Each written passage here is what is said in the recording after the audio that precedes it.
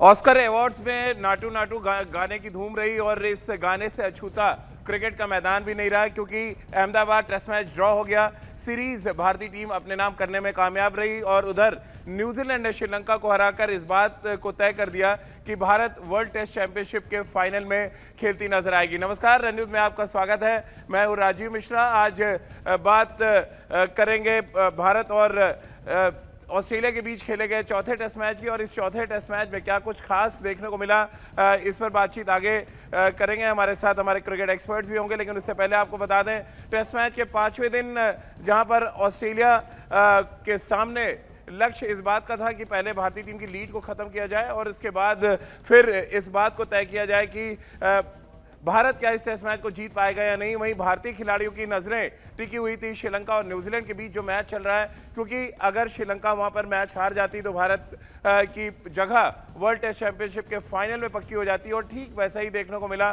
भारतीय team test match draw कराने में कामयाब रही। Virat Kohli man of the match बने। रविंद्र जडेजा और आर अश्विन को मैन ऑफ़ दी सीरीज़ चुना गया। इस पूरी सीरीज़ जीत पर बातचीत करेंगे।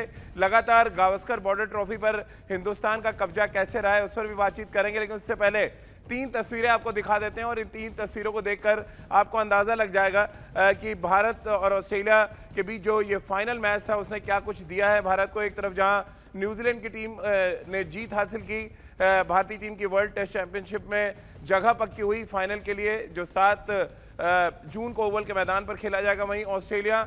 और भारत के बीच ये फाइनल मुकाबला होगा, क्योंकि अगर आप वर्ल्ड टेस्ट चैंपियनशिप की पॉइंट सैली पर नज़र डालेंगे तो एक बात तो बिल्कुल साफ़ है कि ये टॉप की दो टीमें थी जिनको फाइनल में जगह मिली है। तो चलिए अब, क्योंकि मेरे ठीक पीछे आप देख पा रहे हैं, रोहित शर्मा और विराट कोहली इस समय नाटू नाटू पोज में हैं, क्योंकि विराट कोहली ने इस टेस्ट मैच में अपना पचहत्तरवा शतक लगाया। वहीं रोहित शर्मा ने बतौर कप्तान भी शतक लगाया था। अपना पहला कप्तान बतौर टेस्ट शतक लगाया था। तो इस पर भी बहुत डिटेल में बातचीत करेंगे। तमाम रिकॉर्ड्स भी आपको दिखाएँगे। हमारे साथ हमारे क्रिकेट एक्सपर्ट जुड़ चुके हैं। हमारे साथ सबा करीम और राजकुमार शर्मा इस समय हमारे साथ जुड़ चुके हैं। सबा भाई टेस्ट ड्रॉ रहा, सीरीज़ हमने अपने नाम की, उधर न्यूजीलैंड ने हमारा काम आसान कर दिया। कुल मिलाकर आज का दिन भारतीय क्रिकेट के लिए तो इससे बड़ी खुशी लेकर नहीं आ सकता था। ऑस्कर अवार्ड जैसा है वर्ल्ड कप के फाइनल में पहुँचना। अब ऑस्कर में पहुँच तो आप गए हैं। अब वहाँ पे जीत जाए ऑस्कर तब और इस खुशी का मज़ा जो है वो दुगना हो जाएगा। आज भारतीय क्रिकेट के लिए नहीं राजीव ये भारत के लिए तीन ऐसी चीज़ें आज घटी हैं जिससे हम सब लोग गर्वान्वित महसूस कर रहे हैं। सबसे पहली बात है कि नाटू नाटू को ओरिजिनल स्कोर के लिए ऑस्कर मिला है। उसके बाद एलिफेंट विस्परर्स को एक short film best short film के लिए ऑस्कर मिला है। और उसके साथ साथ भारत ने एक बार फिर से वर्ल्ड चैंपियनशिप के फाइनल में प्रवेश कर लिया है। तो ये तीन चीज़ें जो आज हुई हैं भारत के लिए वो बहुत खास रही हैं। और इसी इसी तरह से अगर भारत आगे तैयारी कर कर मैदान में उतरेगा वर्ल्ड टेस्ट टेस्ट चैंपियनशिप के फाइनल में हम्म। तो मुझे इस बार विश्वास है कि भारत को ये इस बार वर्ल्ड टेस्ट चैंपियनशिप जीत लेनी चाहिए। कि प्रदर्शन काफ़ी अच्छा रहा है। पूरे टेस्ट श्रृंखला में भारत ने डोमिनेट किया है। केवल अगर हम इंदौर को हटा दें तो उसके अलावा हर क्षेत्र में भारत ने ही डोमिनेट किया है पूरे के पूरे टेस्ट श्रृंखला में राजीव। चलें क्योंकि बॉर्डर गावस्कर ट्रॉफी भी भारत अपने पास रिटेन करने में कामयाब रहा यानी कि हिंदुस्तान के पास ही बॉर्डर गावस्कर ट्रॉफी रहेगी। इस बात को तय किया रोहित शर्मा ने। बॉर्डर गावस्कर ट्रॉफी में किस तरह से भारत का कब्जा लगातार बरकरार रहा है, वो आंकड़े के ज़रिए हम आपको जरा दिखाने की कोशिश करते हैं कि लगातार, वो चाहे ऑस्ट्रेलिया के मैदान हो या हिंदुस्तान के मैदान हो, भारतीय टीम का वर्चस्व देखने को मिला है गावस्कर बॉर्डर ट्रॉफी में, वो आपको दिखाएँगे, साथ ही तमाम उन आंकड़ों पर भी बातचीत करेंगे। तो चलिए फटाफट एक नज़र डालते हैं जरा। और आपको दिखाने की यहाँ पर कोशिश करते हैं कि क्या कुछ रिकॉर्ड्स भारत के नाम रहे हैं। अगर हम गावस्कर बॉर्डर ट्रॉफी की यहाँ पर हम बात करें तो फटाफट आपको दिखाते हैं यहाँ पर। ये आप रोहित शर्मा और विराट कोहली को डांस करते हो तो देख रहे हैं, ये देखिए, ये ये कुछ आंकड़े हैं। 2023 के जो बनाए हैं भारतीय टीम ने, रोहित शर्मा ने बतौर कप्तान, पहला टेस्ट शतक लगाया। विराट ने इंटरनेशनल क्रिकेट में पच्चीस हज़ार रन पूरे किए। साथ ही अगर हम चौथे टेस्ट मैच की बात करें तो विराट ने पचहत्तरवीं इंटरनेशनल सेंचुरी लगाई। फिर बात करें तो पुजारा ने अपना सौवा टेस्ट मैच खेला, दूसरे टेस्ट मैच के दौरान। और ये सभी रिकॉर्ड बने इस साल, यानी साल 2023 के। गावस्कर बॉर्डर ट्रॉफी की अगर हम बात करें और आप अंदाज़ा, अंदाज़ा लगा सकते हैं कि किस तरह का डोमिनेशन हमें देखने को मिला है। चारों टेस्ट मैचेस के दौरान रोहित शर्मा ने बतौर कप्तान शतक लगाया। पहले टेस्ट मैच में तो विराट ने दूसरे टेस्ट मैच में पच्चीस हज़ार रन पूरे किए। चौथे टेस्ट मैच में ही विराट ने पचहत्तरवा इंटरनेशनल शतक लगा दिया। इसके अलावा पुजारा ने अपना सवा मैच भी इसी सीरीज़ के दौरान खेला और विराट ने पचहत्तरवीं सेंचुरी भी लगाई। यानी कुल मिलाकर भारतीय टीम का जो डोमिनेशन है, वो लगातार इस बॉर्डर गवास्कर ट्रॉफी में हमें देखने को मिला है। इसके अलावा कुछ और रिकॉर्ड्स हैं जो हम आपको बता देते हैं। इस पर भी आगे बहुत डिटेल में हम बातचीत करेंगे। हमारे साथ हमारे क्रिकेट एक्सपर्ट्स का पैनल एक बार फिर जुड़ा हुआ है। अगर हम यहाँ पर बात करें राजकुमार सर जिस तरह से हमने डोमिनेट किया इस सीरीज़ में, हालाँकि टर्निंग ट्रैक पे मैचेस थे, बहुत ज़्यादा क्रिटिसाइज भी किया गया था उन ट्रैक्स को लेकर। लेकिन ओवरऑल डोमिनेशन तो रहा हिंदुस्तान का ये नज़र आ रहा है। और लगातार बॉर्डर गवास्कर ट्रॉफी का जीतना भी इस बात की तरफ़ संकेत है कि वर्ल्ड टेस्ट क्रिकेट में खास तौर से भारत का जो ग्राफ है वो कितनी तेज़ी के साथ ऊपर गया है। बिल्कुल राजीव पूरी तरह डोमिनेट किया है। इंदौर का मैच छोड़ दीजिए तो भारत पूरी पूरी श्रृंखला में हावी रहा है ऑस्ट्रेलिया के ऊपर। और ये ऐसे बात नहीं कि विकेट जैसे कहा जाता है कि दोनों के लिए होती है। हम ऑस्ट्रेलिया में जाके हम फास्ट विकेट्स पर भी खेलते हैं, तब भी ये कहा जाता है कि भाई, ये लाइवली विकेट है तो आपको इसके लिए एक्लेमेटाइज होना चाहिए था। तो प्रिपरेशन उसी तरह ऑस्ट्रेलिया भी करके आया था, लेकिन भारत ने शानदार प्रदर्शन किया। और इससे पहले भी आपने ठीक कहा, जिस तरह हमारा डोमिनेंस रहा, हमने ऑस्ट्रेलिया को ऑस्ट्रेलिया में जाके हराया तो ये टोटली भारत डोमिनेट कर रहा है ऑस्ट्रेलिया के ऊपर, और एक जो, एक वर्चस्व था ऑस्ट्रेलिया का कि वो अनअपोज नंबर वन रहते थे। अब वैसा नहीं रह गया। भारत बहुत अच्छे से उन्हें चैलेंज कर रहा है रादर हरा रहा है। तो अब टेस्ट क्रिकेट में भारत का डोमिनेंस बहुत ज़्यादा हो गया है वर्ल्ड क्रिकेट में। चलिए तो बॉर्डर गवास्कर ट्रॉफी की बात हो रही है तो फटाफट आंकड़ों के ज़रिए एक बार फिर आपको दिखाते हैं कि कितने साल से हम लगातार डोमिनेट करते चले जा रहे हैं गावस्कर बॉर्डर ट्रॉफी की, अगर हम बात करें उस पर एक नज़र डालते हैं फटाफट टीवी स्क्रीन पर आप देख सकते हैं यहाँ पर किस तरह से गावस्कर बॉर्डर ट्रॉफी पर हिंदुस्तान का कब्जा लगातार देखने को मिला है।